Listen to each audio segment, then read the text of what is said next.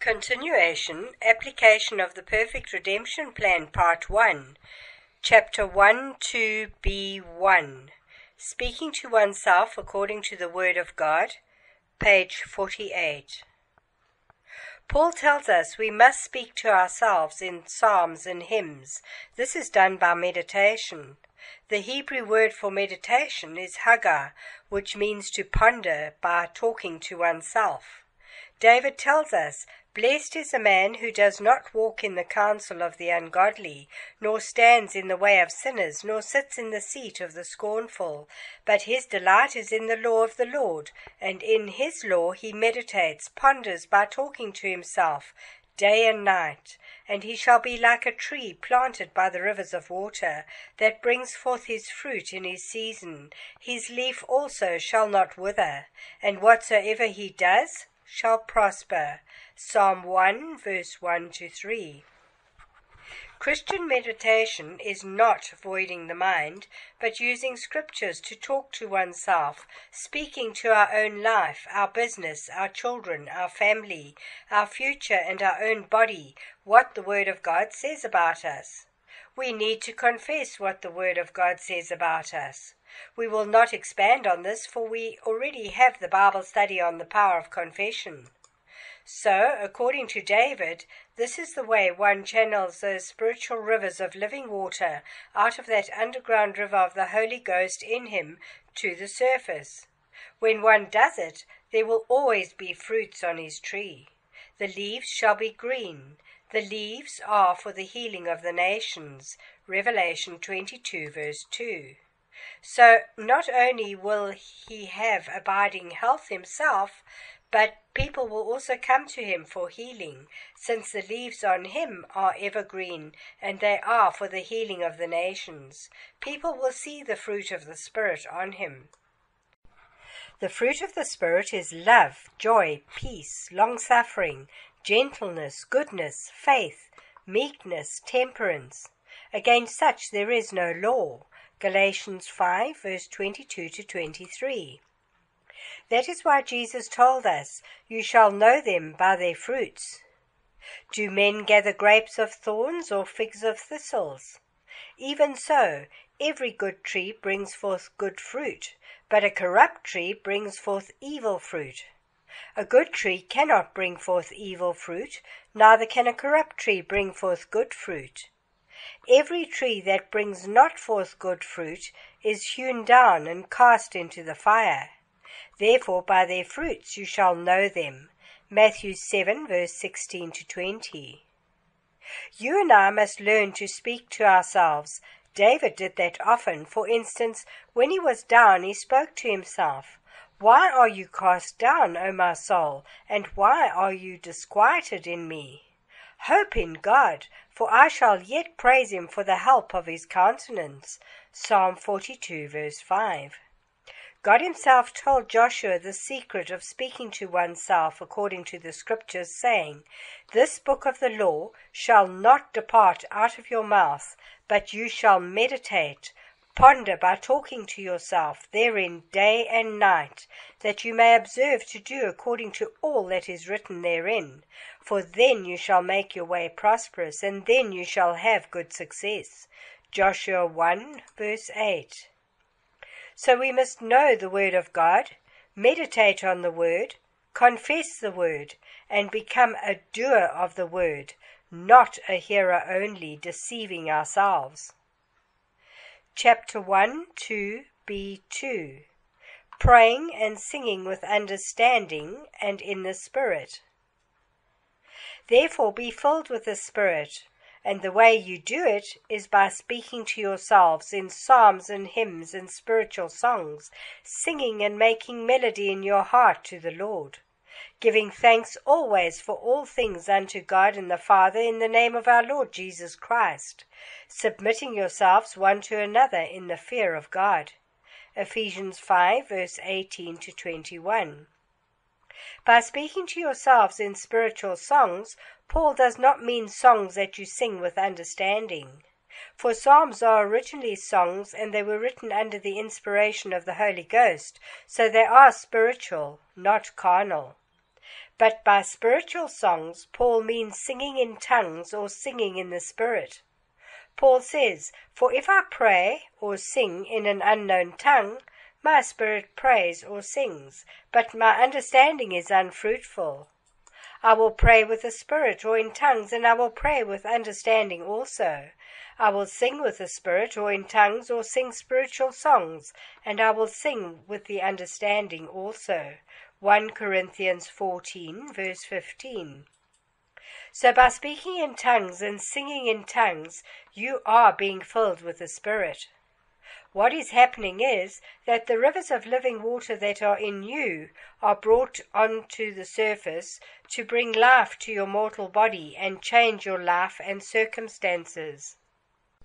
Many people think that when they pray and sing in tongues, it has to be loud. Paul says, spiritual songs, singing and making melody in your heart to the Lord. We have already done a Bible study on the seven Hebrew words of praise, in which we give a succinct understanding of what praise and worship means. Please revisit that Bible study to refresh your understanding on that subject.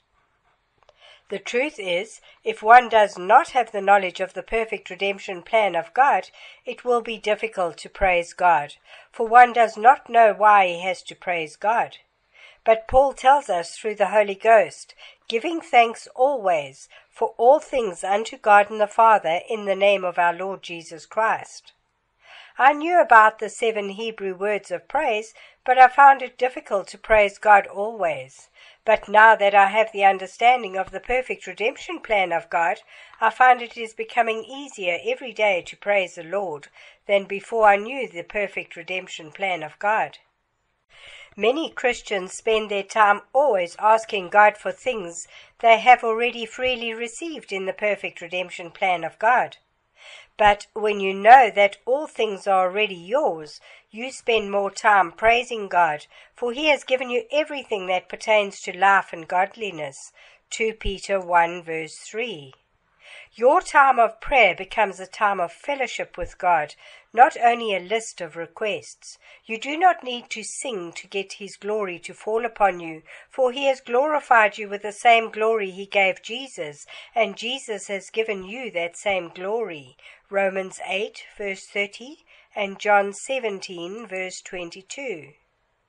Your time of praise and worship is not manipulation time to try to have God do something for you, but you praise Him because it is flowing out of your heart for what He has already done, though you do not see its manifestation yet. You know God is not a man that he should lie, nor a son of man that he should change his mind. Numbers 23 verse 19. God wanted to have true fellowship with us. He did not want us to relate to Him only when we need something from Him. Thus, when He gave us Jesus, He also gave us all things. Therefore, all His promises in Christ Jesus are yes and amen to the glory of God the Father through us. 2 Corinthians 1 verse 20. Now be careful or anxious for nothing but in everything by prayer and supplication with thanksgiving, let your requests be made known unto God. Philippians 4, verse 6. When I was growing up in my parents' house, we knew and believed that everything was already ours.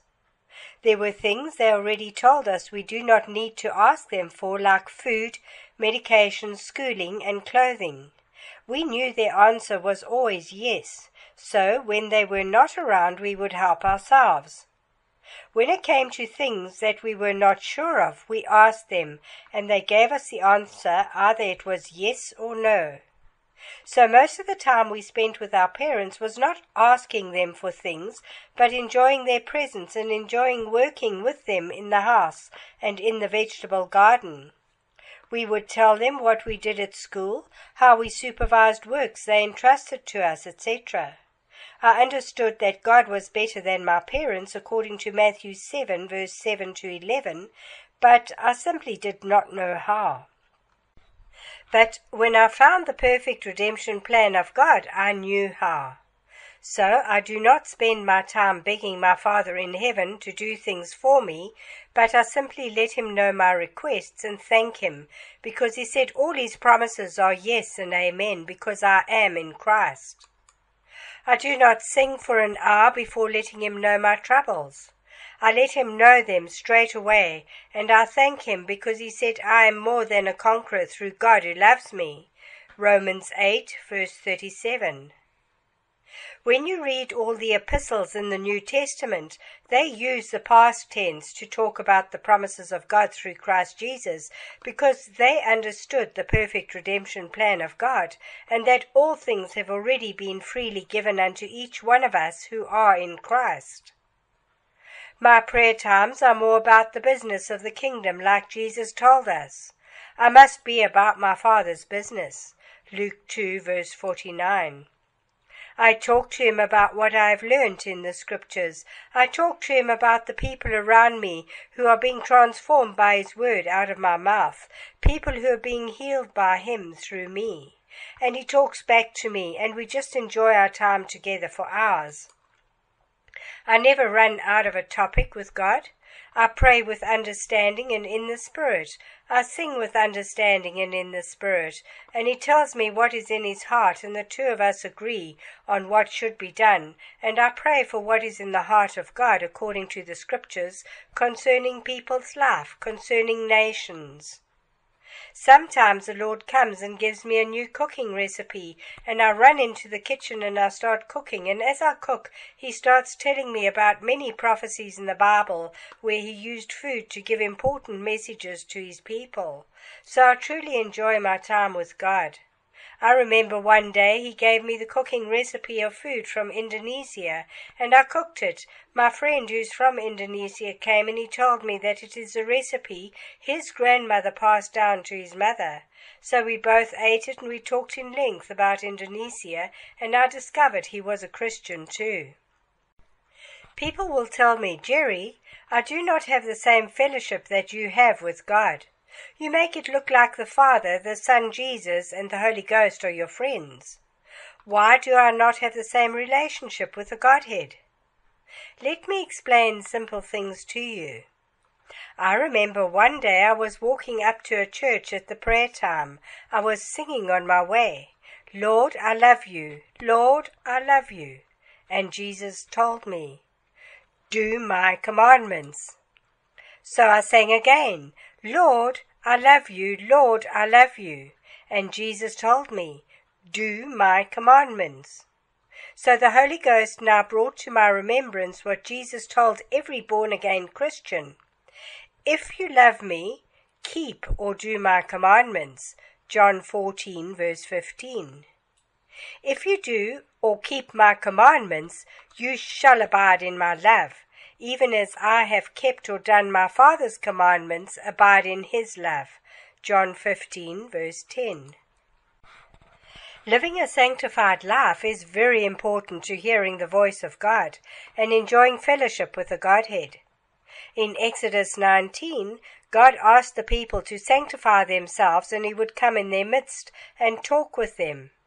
They did it for three days and God came in their midst and talked with them from heaven. In Exodus 24 they sanctified themselves again, and God came in their midst, and talked with them, and they ate and drank in the presence of God. Nobody was to go on that mountain to talk to God if he or she had not sanctified himself or herself. Judas said unto Jesus, not Iscariot, Lord, how is it that you will manifest yourself unto us and not unto the world? Jesus answered and said unto him, If a man love me, he will keep my words, and my Father will love him, and we will come unto him, and make our abode with him. John 14, verse 22 to 23. Moses lived a sanctified life, and he could go on that mountain to talk with God every day. God the Father, Jesus, and the Holy Spirit want to come to you and dine with you too. You must be willing to live a sanctified life if you want to enjoy your fellowship with the Godhead. Love is an action word and verb. It must be demonstrated by actions, not mere words. Paul tells us, God demonstrated his love toward us in that while we were yet sinners, Christ died for us. Romans 5, verse 8. Jesus tells us, For God so loved the world that he gave his only begotten Son, so that whosoever believes in Jesus should not perish but have eternal life. John 3, verse 16. Jesus, while on earth, abode in the love of his Father who sent him by keeping or doing his commandments, and thus demonstrated by his actions that he loves the Father. Jesus wants us to demonstrate our love too, if we truly know Him. By this we know the love of God, because He laid down His life for us, and we ought to lay down our lives for the brethren. 1 John 3, verse 16. What commandments did Jesus keep or do to demonstrate his love for the Father? First, Jesus lived a sanctified life for our sake, so that we can take him as an example of sanctification. John 17, verse 16 to 19, and Hebrews 1, verse 8 to 9. Second, he preached the gospel of the kingdom of God to get people's souls saved so that they would receive eternal life and not go to hell. Matthew 4, verse 17, Matthew 10, verse 7 to 8. Third, Jesus made disciples out of those people he got saved. John 4, verse 1 to 2, Matthew 28, verse 18 to 20. Fourth, Jesus destroyed the works of the devil by setting people free from sin, healing the sick, casting out demons, raising the dead, etc. 1 John 3, verse 8, and Acts 10, verse 38. If we say we love Jesus, let us not just sing about it, but go and demonstrate that we love him by keeping his commandments.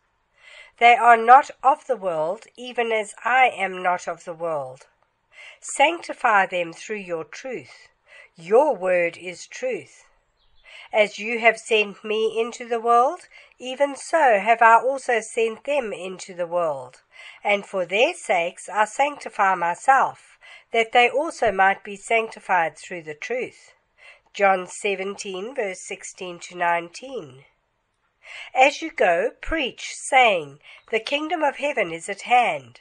Heal the sick, cleanse the lepers, raise the dead, cast out devils. Freely you have received, freely give. Matthew 10, verse 7 to 8. He who commits sin is of the devil, for the devil sinned from the beginning. For this purpose the Son of God was manifested, that he might destroy the works of the devil. 1 John 3, verse 8. And Jesus came and spoke unto them his disciples, saying, All power is given unto me in heaven and in earth. You go therefore, teach all nations, make disciples of nations, baptizing them in the name of the Father, and of the Son, and of the Holy Ghost, teaching them to observe all things whatsoever I have commanded you. And lo, I am with you always, even unto the end of the world.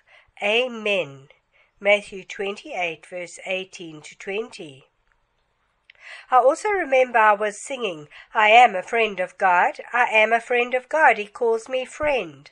And Jesus told me, I, Jesus, am the friend of every born again Christian, yet some born again Christians do not treat me as their friend, though they say and sing that they are my friends. I said, Lord, I do not understand. And the Holy Spirit brought scriptures to my remembrance. Mary, the mother of Jesus, said to the servants, Whatever Jesus says unto you, do it. John 2, verse 5. So, if we are serving our elder brother Jesus, the Lord of lords and the King of kings, whatever he says unto us, we must do it. Now Jesus tells us, You are my friends, if you do whatsoever I command you. Henceforth I do not call you servants, for the servant does not know what his Lord does, but I have called you friends, because all things that I have heard of my Father I have made known unto you. John 15, verse 14 to 15. So, when we are not doing whatsoever Jesus commands us, though we are born again, Jesus is our elder brother, our Saviour, and He is our friend, but we are not reciprocating His friendship toward us. The same thing also when we sing of Jesus being our King of kings and Lord of lords. Jesus tells us, You call me Master and Lord, and you say, Well, for so I am. John 13, verse 13. But why do you call me Lord, Lord, and do not the things which I say, bid, or command? Whosoever comes to me and hears my sayings, biddings, and commandments, and does them, I will show you to whom he is like. He is like a man who built a house and dug deep and laid the foundation on a rock. The rock of hearing and doing the saying, bidding, and commandments of Jesus. And when the flood arose, the stream beat vehemently against that house, and it could not shake it, for it was founded upon a rock. But he who hears and does not do is like a man who without a foundation built a house upon the earth, against which the stream did beat vehemently, and immediately it fell, and the ruin of that house was great. Luke 6, verse 46 to 49. So Jesus is asking us the same thing. Why do you sing and profess that I am your King, your Lord, that you are my friend, that you love me, yet you are not doing what I say, what I bid you, and what I commanded you. So, instead of merely singing about being friends of God and friends of Jesus, about Jesus being our King and Lord, we need to prove it by doing whatsoever He commands us. What Jesus commands every born again Christian is simple. It is summed up in one commandment. Jesus tells us, A new commandment I give unto you, that you love one another as I have loved you, that you also love one another. John 13, verse 34.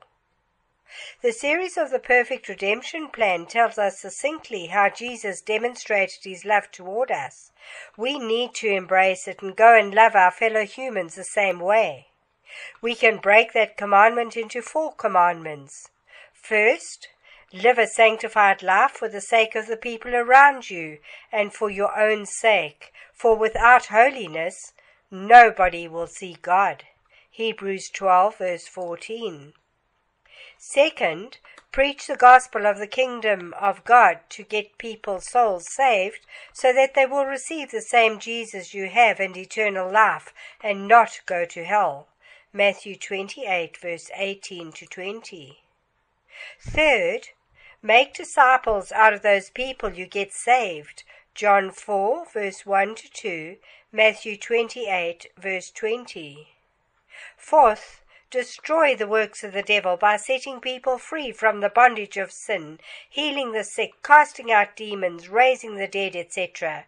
1 John 3 verse 8, 2 Peter 2 verse 19, John 8 verse 31 to 36, Acts 10 verse 38, and Matthew 10 verse 7 to 8.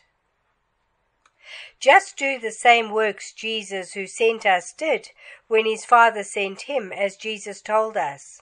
Verily, verily, I say unto you, he who believes on me, the works that I do shall he do also, and greater works than these shall he do, because I go unto my Father. John 14, verse 12. Love and friendship must be reciprocated. We should not only be on the receiving end and never give anything back to God.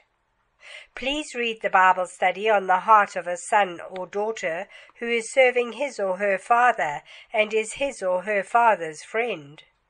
The love and the friendship of God, Jesus, and the Holy Ghost toward us are unconditional.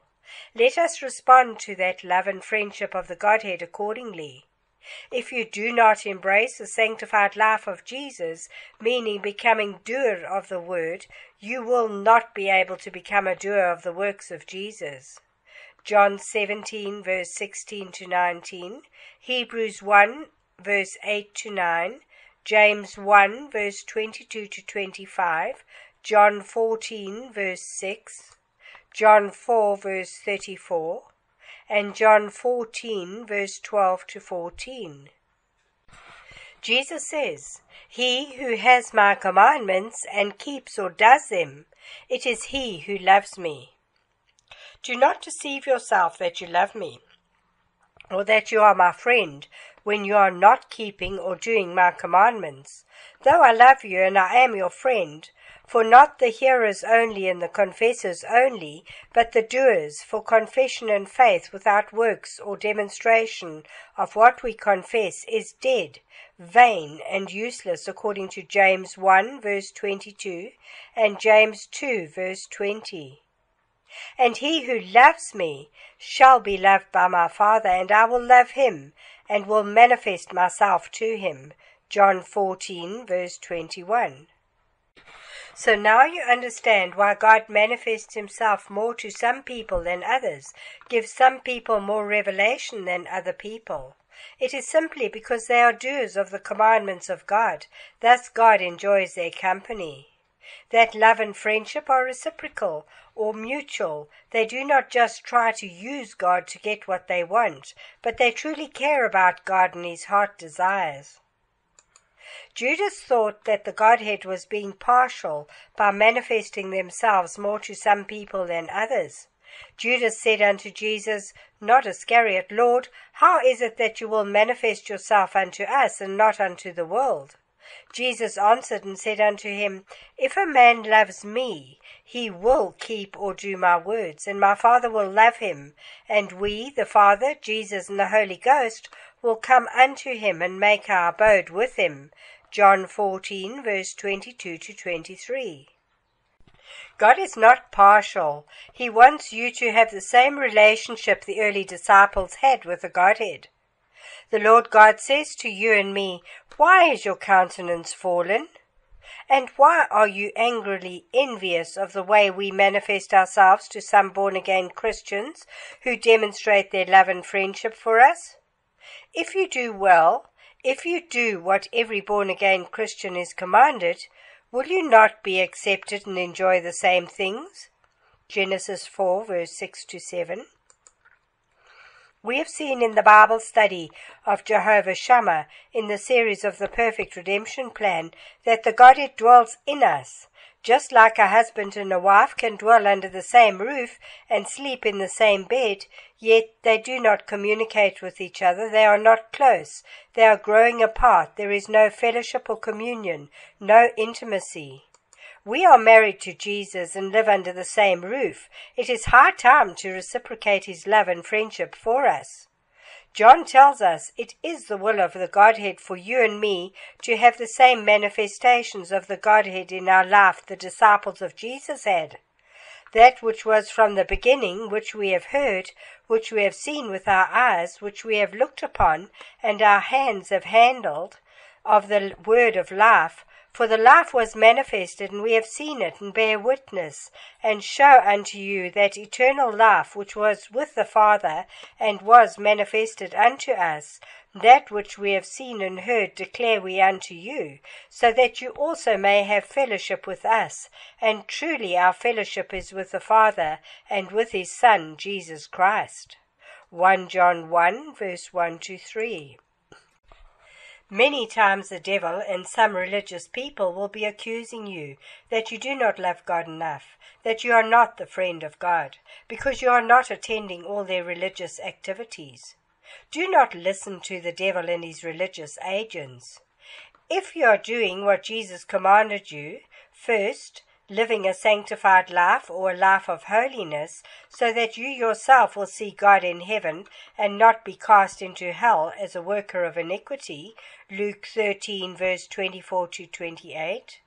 Second, preaching the gospel of the kingdom of God to get people's souls saved so that they will receive eternal life and not go to hell.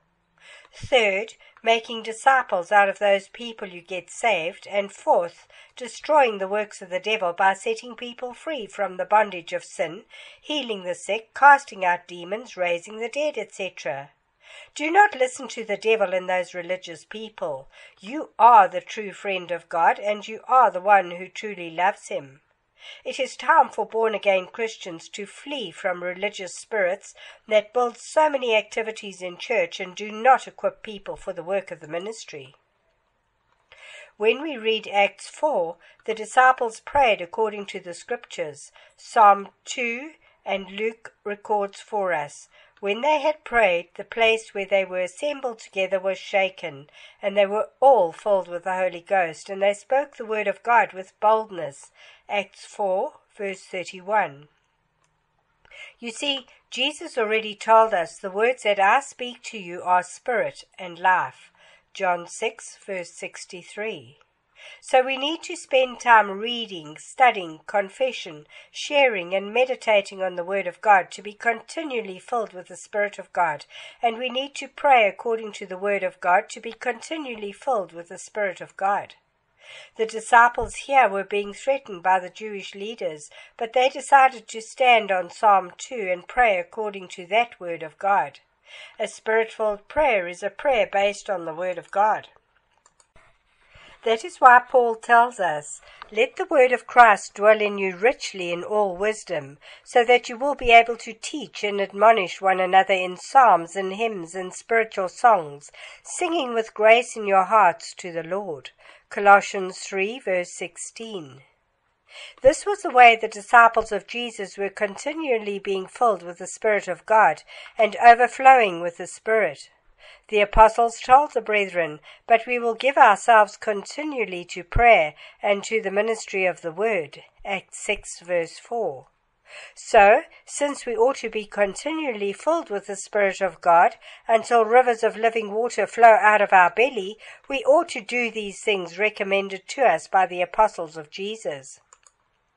Let us stop here for a second. If you have not yet received the baptism of the Holy Ghost with evidence of speaking in tongues, which is the first sign of the infilling of the Holy Ghost, this is your day. I want you to lay your hand on your head and pray this prayer out loud. And after you've prayed it, open your mouth and speak whatever comes out of your mouth. Your mind may tell you you do not understand what you are saying. It is normal. Keep speaking again and again. Do not stop. Pray at least for one hour in tongues. The first time I opened my mouth and prayed in tongues, my carnal mind was telling me, Gee, now it is official, you have lost your mind. And I remember I had tears running down my cheeks, for I did not know what I was saying, and I am a person who wants to understand everything, but that tongue thing I could not understand it. The Lord told me, You have already given people prophecies, so that is part of the manifestations of the infilling of the Holy Spirit. For in Acts 2, when they were filled with the Holy Spirit, they spoke in tongues, and they prophesied. You've been having dreams and visions. That is also the evidence of the outpouring of my Spirit upon you, like Joel prophesied and Peter said in Acts 2, that it was a fulfillment of that prophecy of Joel. You are comfortable with prophesying dreams and visions because you understand them in part, but you are not comfortable with tongues because your intellect is resisting it. So I made up my mind I wanted all that Jesus died on the cross for me, and the infilling of the Holy Ghost with the evidence of speaking in tongues is part of it. I prayed the first day by faith for fifteen minutes, and everything about me said it was gibberish. But the next day I decided I would pray for one hour in tongues. I made it a discipline at first because my carnal mind was telling me, Stop praying in the Spirit. You do not understand a single word of it. But I spoke to myself, saying, Self, listen to the word of God. He who speaks in an unknown tongue speaks not unto men, but unto God. For no man understands him. Howbeit in the Spirit he speaks mysteries. 1 Corinthians 14, verse 2. So I'm not speaking to you, self. I am speaking to God. I am speaking mysteries, even hidden truths of God, and the carnal mind cannot receive the things of God. But not me. I have the mind of Christ. That is why I can speak those mysteries. He who speaks in an unknown tongue edifies himself. 1 Corinthians 14, verse 4. So I am building myself up by praying in tongues. I am repairing the cracks that are in my life by praying in tongues. I am fixing my life from within.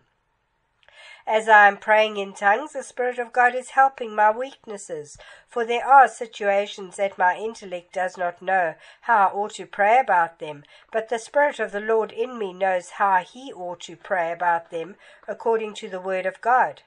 I do not know all the Scriptures, but the Spirit of the Lord in me knows all the Scriptures, for He is the one who wrote the Bible. 2 Timothy 3 verse 16.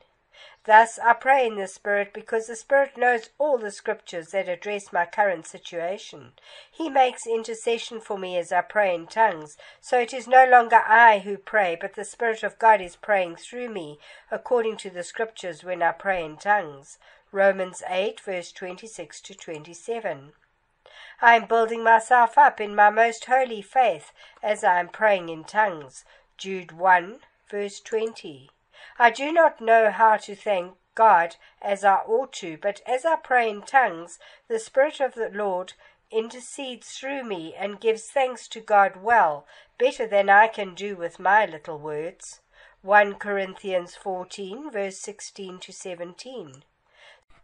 So, if you do not speak in tongues yet, please lay your hand on your head and pray this simple prayer out loud with me, and then open your mouth and pray in your most holy faith. That is praying in tongues, as Jude tells us. People who have prayed this simple prayer have instantly received the baptism of the Holy Spirit with evidence of speaking in tongues. Some of them even spoke and sang in Arabic, though they have never learnt it, like in Acts 2. Jesus said, Everyone who asks receives. So today is your day to receive the baptism of the Holy Spirit. Luke 11, verse 9 to 13. Say it out loud with me. Let us pray. Father, I thank you for sending Jesus, for when Jesus died, I died with him. When he was buried, I was buried with him. And when you raised him from the dead, I was raised from the dead with him. And the same glory that you gave him, he has now given me. I thank you because Jesus already prayed for me to receive the promise of the baptism of the Holy Ghost and fire, with evidence of speaking in tongues. I thank you because I have the Spirit of glory dwelling in me. I thank you because it is your will that I, as a believer in Jesus, must have that Spirit of glory resting upon me, with evidence of speaking in tongues.